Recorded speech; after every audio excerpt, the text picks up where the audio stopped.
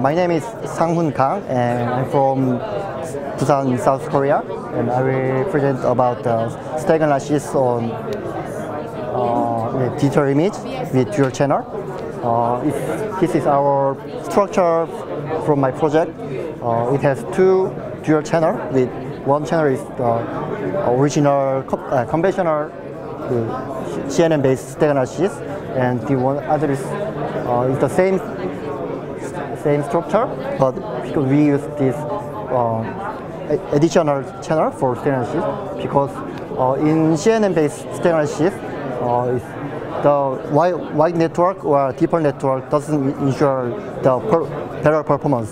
So uh, in our proof structure, we use the additional channel uh, by using uh, box filter. So by by this, we can get additional picture from the uh, image, so we have we can get a higher per performance uh, in the result of this. Yeah, this is our result. Uh, we get 80% of the accuracy, but uh, we had failed to training with uh, YANET both sides. Uh, if YANET is the deep, deeper model of technologies with CNN. But uh, so uh, in the YANET, they have 86% of the accuracy. But in our network, we get 80% uh, of the high speed accuracy. So our further plan, we can use the both YANET if we can.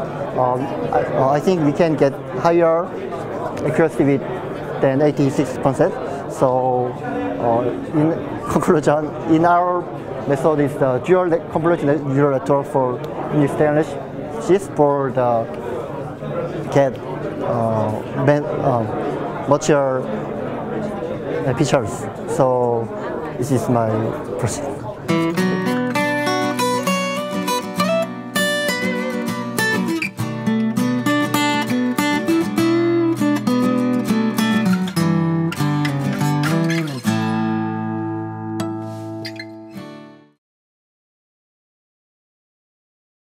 Bye.